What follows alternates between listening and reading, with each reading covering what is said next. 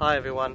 Uh, today I'm in front of the vast Angkor Wat temple complex here in Cambodia. It's a World Heritage Site built in the 12th century uh, and it is uh, what you could describe as an extreme property construction project. It took 37 years to build, 330,000 people worked on this project. Uh, just imagine uh, managing that team of builders. Uh, but anyway, Baker Street Property Meet, Wednesday 31st of January is what I want to tell you about because it's our award winners special.